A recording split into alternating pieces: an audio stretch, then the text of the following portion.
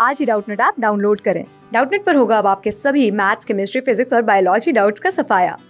बस अपने क्वेश्चन की फ़ोटो खींचो, उसे क्रॉप करो और तुरंत वीडियो सोल्यूशन पाओ।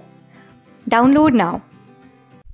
हेलो फ्रेंड्स हम क्वेश्चन सॉल्व करते हैं integration one to a natural log of t upon t into d t so यहाँ पे हमें आई की वैल्यू क्या गिवन है इंटीग्रेशन वन टू ए, और यहाँ पे हमें क्या कहना है? Natural log of t upon t into d t अब यहाँ पे एक काम करते हैं नेचुरल लॉग ऑफ़ टी को हम यू मान लेते हैं। तो इसको डिफ्रेंशिएट करने पे क्या मिलेगा? One by t into d t is equal to d u so यहाँ पे हम लिख सकते हैं I is equal to integration of natural log of t की वैल्यू यू है and d t by t की वैल्यू कितनी है? डी यू अब यहाँ पे हम देखते हैं लिमिट्स हमारी चेंज हो जाएगी।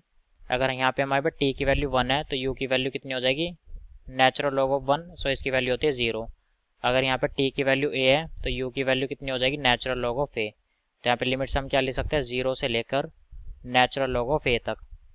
सो so, इसको इंटीग्रेट करने के लिए हमारे पास एक फॉर्मूला होता है इंटीग्रेशन एक्स की power n into d x इसको हम ले सकते हैं एक्स की power n plus one upon n plus one plus c so यहाँ पे हमारे पास क्या आ जाएगा? यू स्क्वायर अपॉन टू और लिमिट्स क्या है? ज़ीरो से लेकर नेचुरल लॉग ऑफ़ ए तक।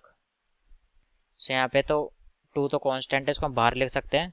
लिमिट्स कैसे अप्लाई करते हैं? Upper limit minus lower limit तो यहाँ पे क्या आ जाएगा? नेचुरल लॉग ऑफ़ ए का होल स्क्वायर माइनस ज़ीरो का होल स्क्वायर